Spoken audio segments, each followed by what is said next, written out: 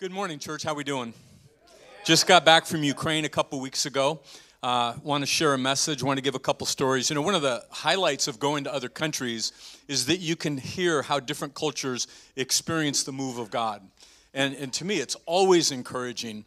Uh, when we were there, I heard a story uh, of a guy who was a chaplain, and he knows a family, and they were in one of the cities that was getting shelled and rocketed by the Russians.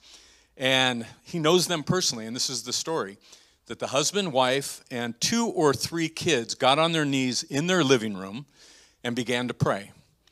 And so, as they were praying, a rocket hit and blew up in their house. The doors blew off the hinges, the windows blew out, went over their heads, and they survived. Now, I want you to just think about that picture for a minute. You know, they said there was total peace. They were aware of what was happening, but it wasn't terrifying. A second rocket enters and hits in the kitchen and doesn't detonate. Now, I heard that, and my first, here's my first thought the safest place is always on your knees. Isn't that true? That's the safest place. Now, the sad, the tragedy of it is 21 of their neighbors got killed in that same attack. Crazy stuff. Then there's this other story. Here's a national hero in Ukraine, a lady. She's in her apartment, it's a high rise, and she sees a Russian drone go through. A Russian drone. So what does she do? She goes to her refrigerator and she gets a jar of pickles. Porque. Spanish, working on my Spanish here. She grabs the jar of pickles the drone comes back through. She throws it, hits the drone, takes it out of the sky. It's done. She is a national hero. You can YouTube, just YouTube, Pickle Lady, Ukraine. Now, she's been on every newscast in Ukraine. She is a hero. And they got the story wrong. One of the reporters said she used potatoes. She said, I did not use potatoes, I used pickles. That's important. When you're taking down drones, man, you better have the right weapons in your hands. We're in a series called Spirit Led Surrender and Obedience as a Way of Life. And this, this is really good. And so, you know, I really felt like the Lord impressed on me to just share being spirit led to be a blessing. Everybody say, be a blessing. Now, the problem with me is I'm a very works oriented person. So, what I do, my inclination is to go right after what can you do to be a blessing? And, you know, come up with exhaustive lists so that everybody can be a part of it, you know? And, and, and as I, as I started just going that route, which is my familiar route, and the Holy Spirit basically said, that's just really out of order.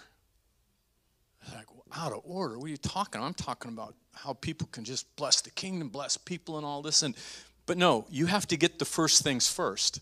And, and here's the first things Romans chapter 8 says this. Now look at this. Let's read it together, okay? Ready? Go.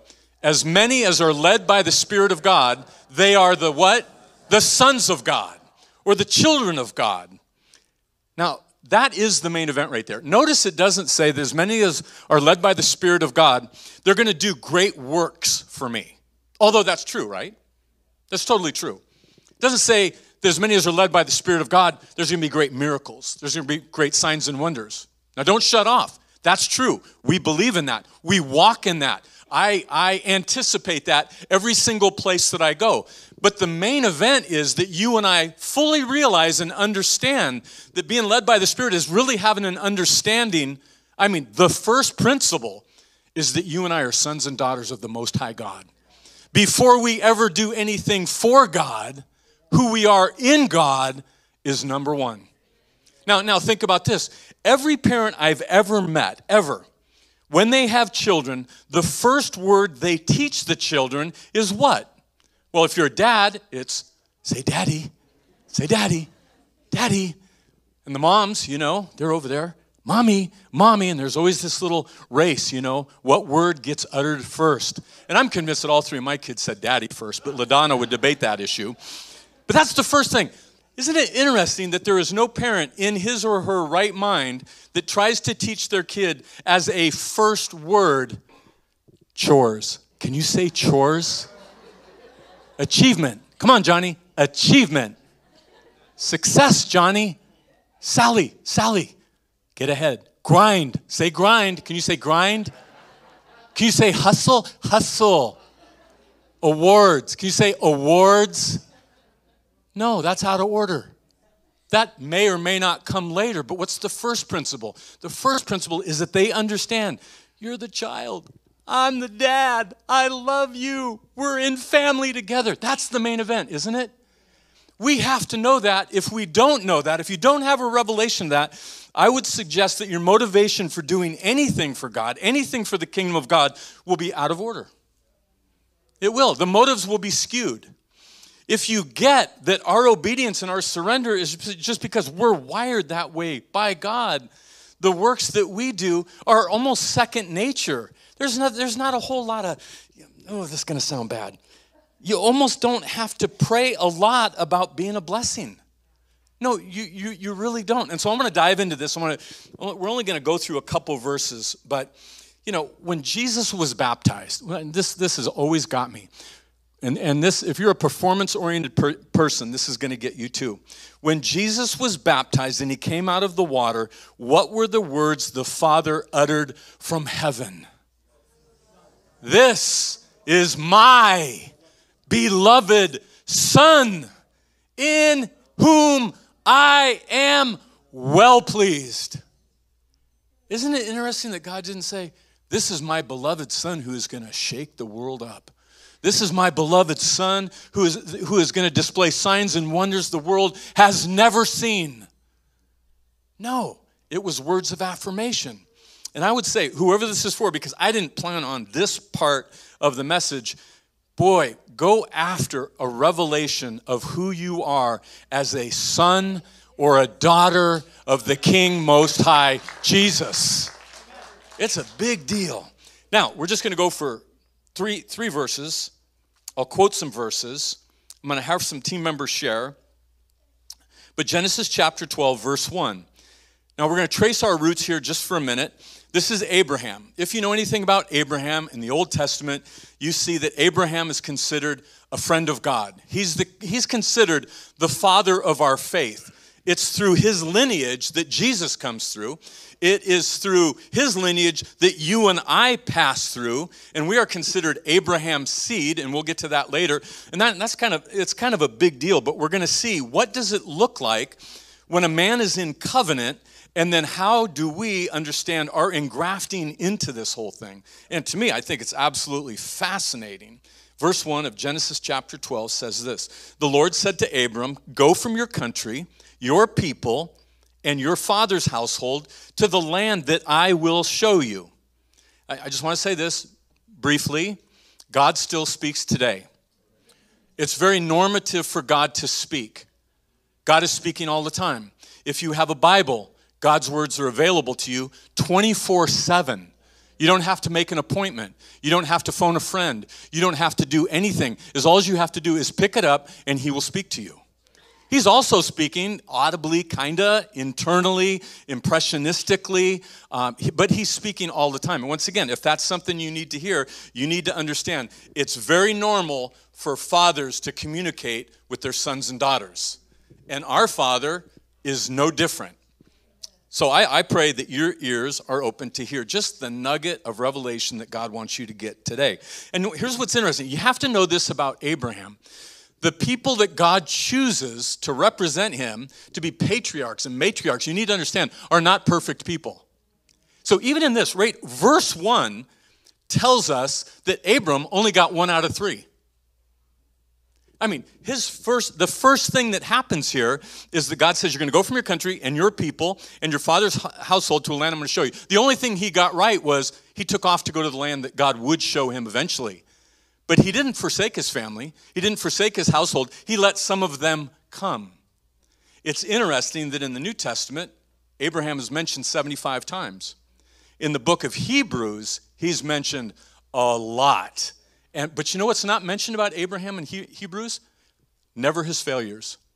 And if you read from here through Genesis, uh, you, you will see that he fails a lot. So you just need to understand failure does not get in the way of God using anybody. Because God's God, and He's going to use who He chooses to use. Now, I would say that His priority is that we cooperate well with Him, that we get things right, make things right when things do get a little whacked here. But this is this is Abram, man. Leave. Leave the comfort, leave the familiarity, leave your family, leave your identity, leave the good, bad, and the ugly. And, and some of you need to hear this God's next is always better than your what was. Say it again. God's next is always better than your what was. Bible says we go from faith to faith. Love my previous faith, love the next faith. We move from glory to glory, or the weightiness. We, we live and walk in the weightiness of God, the glory of God.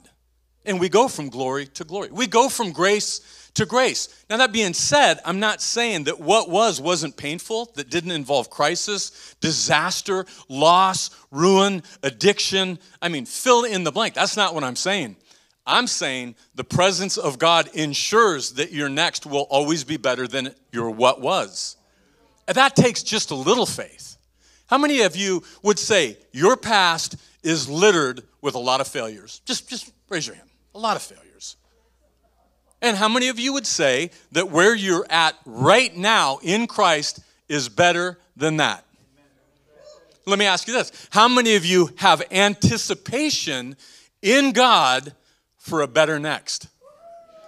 Okay, this isn't on you. You need to hear this. This isn't on you. We love to somehow marry grace and works, and I, I want you to ditch works and embrace grace because what we're seeing right here is that God, the heavy lifting, has already done by God.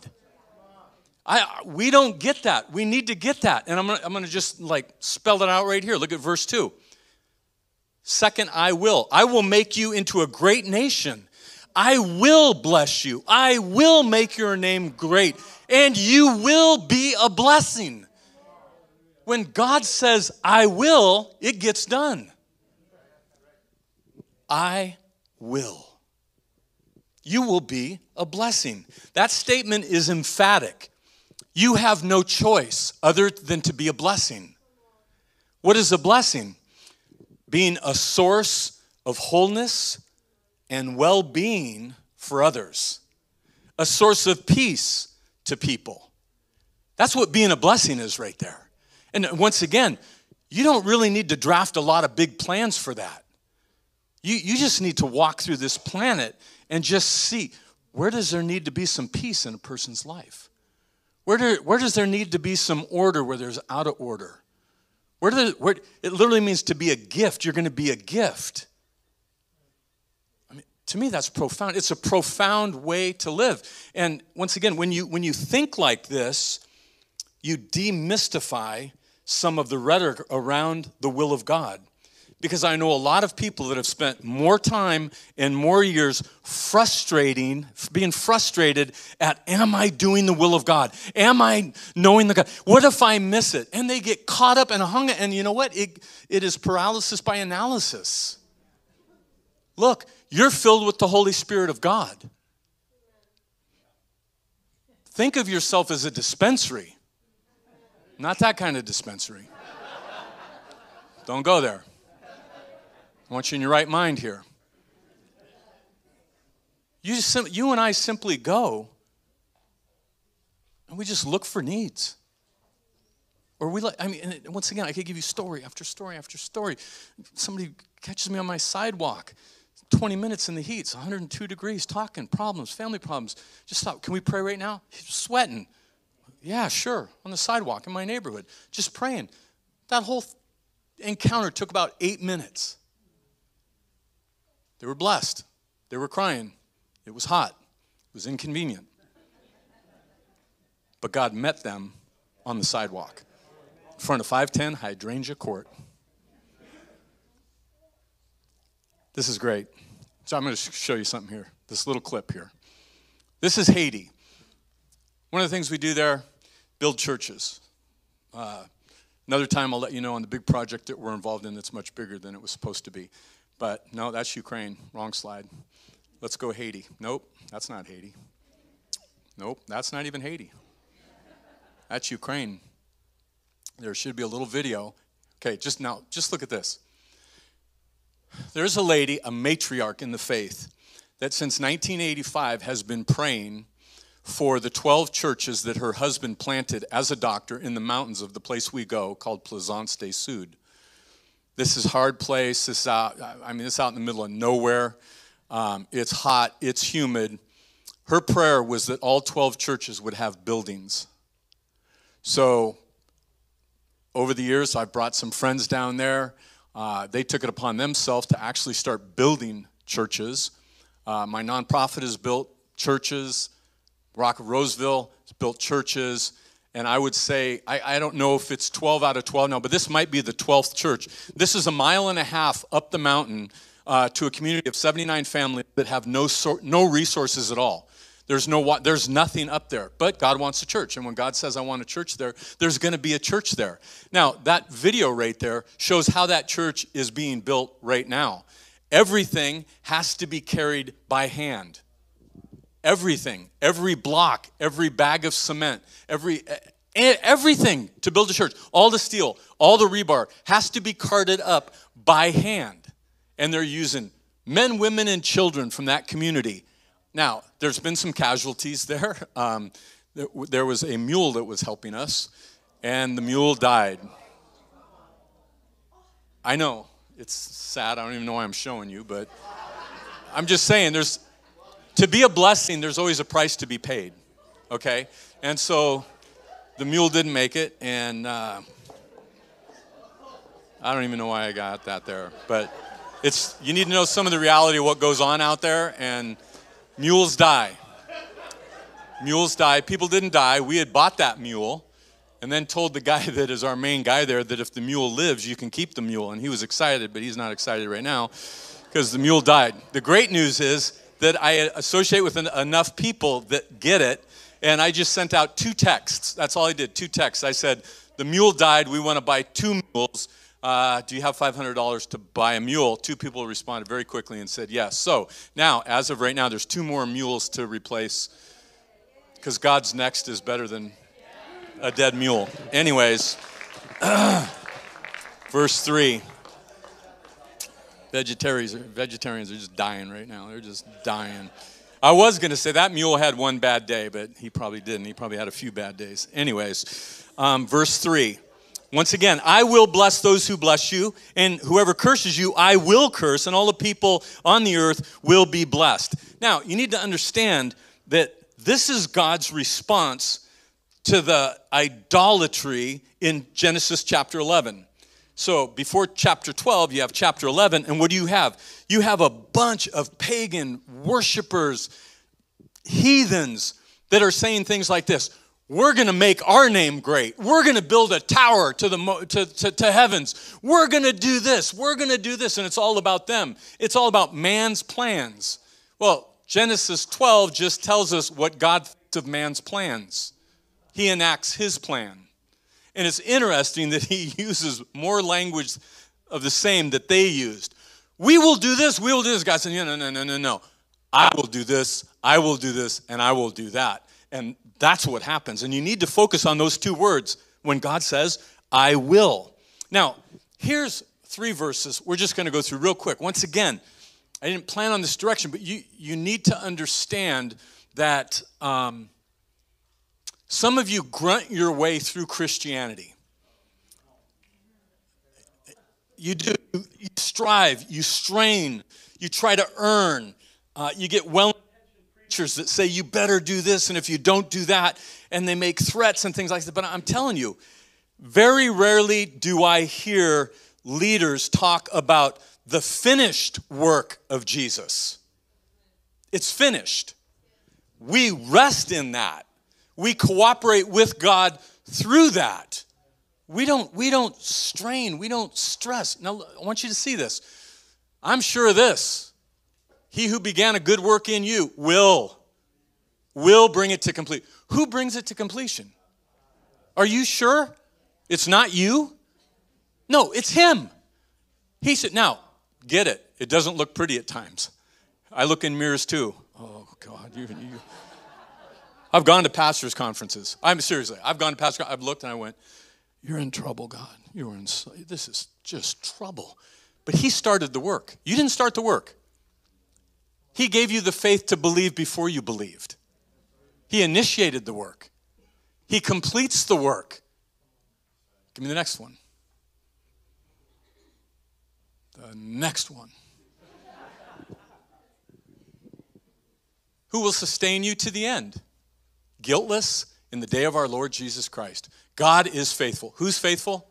God's faithful. This is what I know about people people are fickle. True. They're fickle in their love. They're fickle in their devotion. They're fickle in their obedience. They're fickle in their surrender. People are people. And they're fickle. But God is faithful. I love that. His faithfulness trumps, can I say that word? Trumps my fickleness and your fickleness. Give me the next one.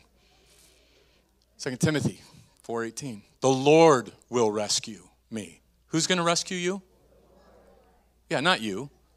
The Lord's going to rescue you from every evil deed. Bring me safely into his heavenly kingdom. To him be the glory forever and ever. Amen. That's just good stuff. Once again, I could come up with 50 more verses that, that just center on His will, what He says He's going to do. He's going to accomplish it. As long as you, you and I do, okay, here's your, your big responsibility. You ready? Because some of you are works oriented and like me, and you want to do something. Here's what you do you cooperate with Him. That's it. You cooperate. You just say, I don't want to do this. I don't even want to. Okay. All right. And as you grow, grow and go over time, it gets easier.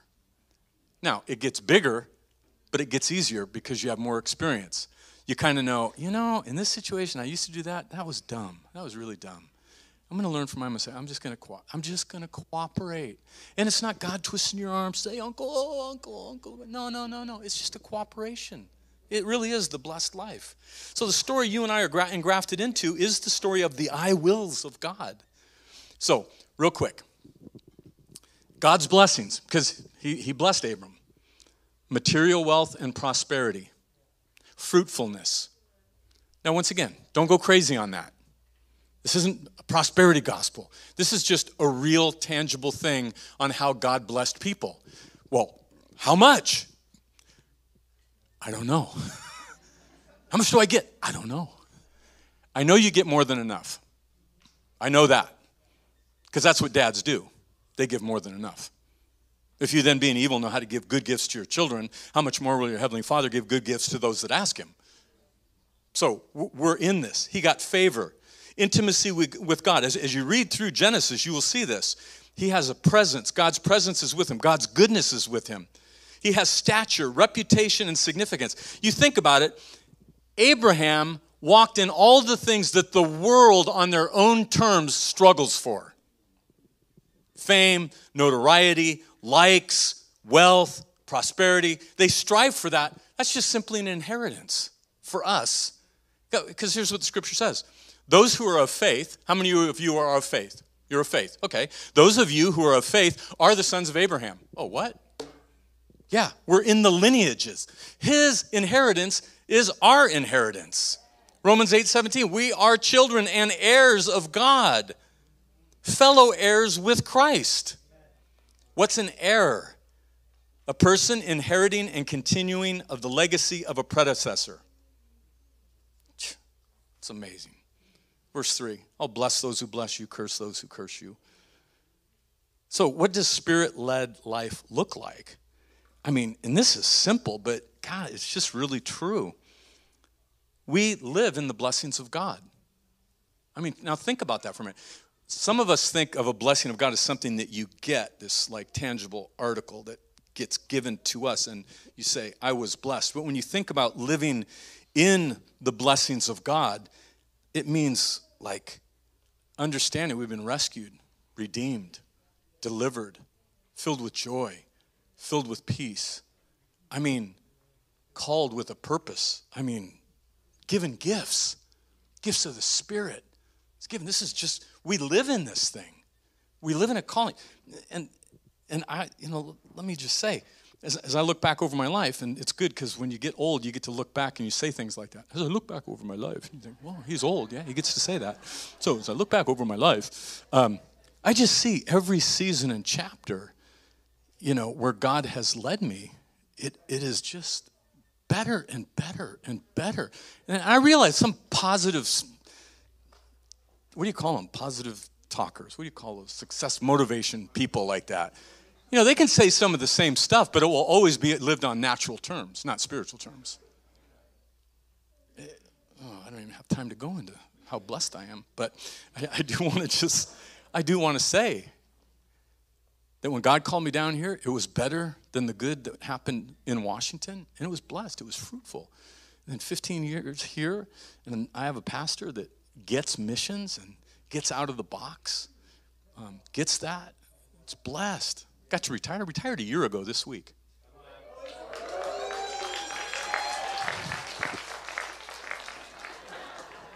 I was thinking about that. I'm retired, but somehow I'm busier in a good way and doing more than I've ever done. And there's more fulfillment and more satisfaction. Unbelie- un- stinking believable. Pam and Mike, come on up here real quick. Pam and Mike. So, spirit led life is we live in the blessings of God. Jesus made unto us wisdom, righteousness, sanctification, and redemption. Made unto us. Gave that. The second thing is we live to be a blessing. So the gospel and good works always go hand in hand. Always. Hand in hand. So these guys, we most of our team, LaDonna is at a single moms outreach. Um, a couple of the other team uh, is out of town, Amy and uh, Gunner. Um, so I just want you guys to share just one blessing that you experienced or you gave or an encounter, you know, that God takes average, ordinary people like us, takes us to a place that has some needs, and just what happened. All right. So thank you uh, for having us go. This was amazing, and this was definitely a spirit-led um, mission trip. And uh, just want to thank, give a shout out to like Varva and her family um, for housing us and hosting us. It was amazing. Thank you so much. And uh, wow. A few things. I could tell you, like, yeah, 50, 50 scriptures uh, all day, all night. I can tell you stories. But um, one thing I wanted to say was before I went on a mission trip, I prayed, and the, um, the term in my mind came up, and I, I believe wholeheartedly it was God um, showing me um, the quote, such as time as this. Now, I didn't remember where that came from and what uh, scripture verse it came from. And then I looked it up and it was from Esther 4:14. And it just kind of correlates with our worship today and your message today. So today was a very big confirmation that this was all much needed and spirit led. Um, one of the amazing stories that I, got, I, get to share today is that I um, encountered a gal named Nadia. She's from Bucha, um, Ukraine, and she's one of the refugees that showed up at one of the charitable organizations that we visited. And man, what a heart, what a what a warrior she is, and uh, her strength and her nobility and her love and her um, perseverance really shined through that day that we met her, encountered her, and um, she got to tell us her story, and it was it was hard hard to hear, um, and it was sad, but it was also enlightening and it was hopeful and so um, we got to get together with her and we prayed over her and we prayed over her family, who is still there in Ukraine um, in the red zone area. And if you guys know what red zone means, it's the active place of where the Russians are uh, invading. Um, she was emotional and she was very thankful, very thankful for all of you guys that um, supported us. So we weren't the only ones there. You guys were there in spirit. So we just, yeah, awesome. Thank you guys. That's good.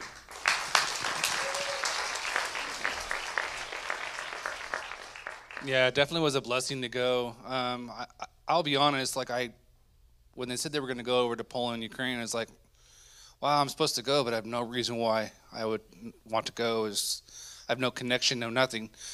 But the Lord just kept pressing in on it, and it's funny. Spirit led. It's definitely what it was, and so you know, I went there and kind of really kind of wondering what was going to be happening. You know, lots of different things. I don't really have a lot of medical backgrounds. I can't do that. But I do know is that Holy Spirit's with me and I can pray with people. You know, I could see healing happen. We could see miracles, all that stuff. And so I was expectant there. We, uh, in our travels, we came across a gentleman that stood out, mainly because he had a big old U.S. military uh, T-shirt on uh, at the border, and we're like, "Who's this guy?" And he speaks English. He's on his phone, and so I, we will go over there. We start talking to him. His name's Kevin, and uh, he is a, uh, a Marine veteran, just retired firefighter, search and rescue guy, 35 years. And we asked him, What are you doing here? He goes, I don't know. I just grabbed my stuff and I left. You know, so I'm thinking of this verse, you know, Genesis 12 1. He left home. He left everything, his family. And he goes, I don't know why I just showed up, but I did. And I'm here searching for somebody. And he goes, I don't know how to connect. Here's the thing if you guys don't know, like, I was in the Navy as a kid. I've done lots of stuff. So, like, when you get around somebody who speaks the same kind of heart language, you just connect. And, you know, I sat there and talked to him for a few minutes, and we connected on a level that it's hard to explain. I don't know where he's at in his walk with God at all. All I know is it was a heart connection. And he's just like, I just want to serve. And we had an opportunity to connect with some other groups. And uh, we're like, well, we don't know we can get you there, but we'll figure out something. And that night we sat there talking, and, and Pam and I and Gunner like, I don't know what we're gonna do, but we're gonna make sure we do something. And Gunner and I, next morning, we drove all the way back over there, grabbed him, and he was standing there. He goes, he, I hopped out of the car, looks at me, goes, "You came back for me." And we're like, "Yeah, yes, we did." We snagged him up and we took him over to a humanitarian aid area, and I walked him in just him and I, I prayed him around through. Pray sounds a word, bad word. I walked him around, kind of showed him what was area and where he could plug into. And uh, before I left, I said, "Man, can I pray with you?" I just, you know, I feel like you know this is a connection that's going to be a, a long time. He goes, "Please." We prayed right there in the middle of everything, and looked at me. He goes, "Thank you for not forgetting about me." That's it. Let's stand up together. I mean, once again, I love the fact that when we had our debrief over at my house on Friday night, when people were talking about Ukraine, they all talked about individual encounters with people that God had already set up. Now, we did big things. One of the big needs was gas. So we put 81 liters of gas in the trunk of a rental car. That could be called an explosive device. But because that's what they needed for chaplains to get supplies to the front lines. So we did that. We bought hefty bags full of medicine, bandages, all that kind of stuff. So there was the elements of the big things, but you need to understand God takes you to places where people need to hear. We stayed one night in a hotel and I talked to the lady, you know, and I just said, "Hey, how you doing?" Da da da da da. And all of a sudden, man, she just pours out her heart my, my daughter has special needs. I'm single. And you could tell she was just an amped up, stressed out woman. So, through the next couple of days, we just talked to her. You know, she served us. And then I said, Hey, I said, We're leaving. Can we pray for you? She's working. She says, Yeah, okay. So we went into a, a little banquet, empty facility. Team got around this lady. She prayed for her. She started weeping. So when I think about blessing, I always think about I think about the big things, of course, the building the buildings, the big things, buying the mules, all that. I also think about those one-on-one encounters. Jesus encountered you individually, not as a package deal, but individually. So I want to pray for us, and, and I want you to just respond to this here. Okay, when I first started talking, I talked about God's heart and desire. First of all, is that you would understand that you are sons and daughters of God. That, that's the main event. I mean, seriously. And, and I want you to just think about this verse right here in 1 John. How great is the love the Father has lavished on us that we might be called the children of God. Main event verse for me right there. Some of you don't have that. Some of you are Christians, but you almost kind of like live a life that look busy. Jesus is coming back. you know, there's a little freneticism with you in your soul. And so I just want to pray for you. If you're somebody that really hasn't kind of got that revelation that above all else, you are a son or a daughter of God, I just want to pray for you. Shoot your hand up. Or, or if you know there needs to be a little more work in that area, just raise your hand. Just keep it up. I, I want to pray that. Father, right now in the name of Jesus, I declare over these people, you are a good father. Your word says your spirit bears witness with our spirit that we are children of God. And so I pray every person here that has that hyper works orientation, that they somehow have to add to what you did for us. I pray, give them a revelation. Open the eyes of their understanding, that they would see you and then they would know you as our Father in heaven. Pray for that, God. Pray for people that still think that either their best days were behind them or that it's been all bad up to this point and they have no reason to believe that it will get any better. Once again, Lord, I pray that you would reveal that what you have for us next is way better than what was. I bless these people, God my brothers and sisters, your sons and daughters, I bless them right now in the name of Jesus. Amen. Amen.